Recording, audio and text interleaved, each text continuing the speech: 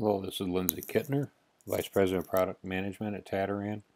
And in this short video today, I'm going to show you how to make uh, calls using Aeonix Touch. With Aeonix Touch, you have multiple ways to make calls.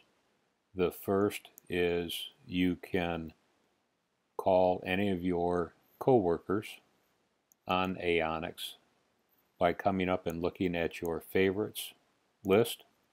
If that person is not on the favorites list, you can go in and you can do a search for that person. And when you find that entry, you can go in by hitting the three dots and hitting the star button, and that will save it to your favorites list. Second way that you can make that call is you can simply just hit the phone icon to actually call that person.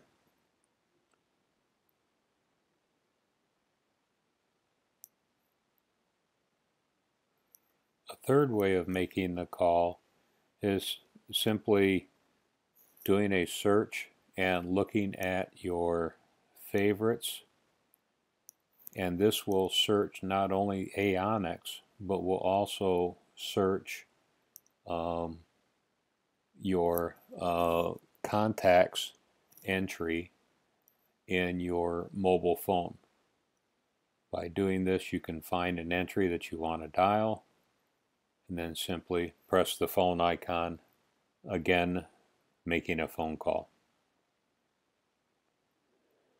Or lastly to make a phone call, you can simply just click on the dial pad and simply dial the alias or extension of the person you wish to reach within Aeonix. Or to make an outbound call, simply dial the phone number that you wish to make and press the phone icon to make the call. If you have any further questions on this, feel free to contact Tadiran or your local dealer for more information. Thank you.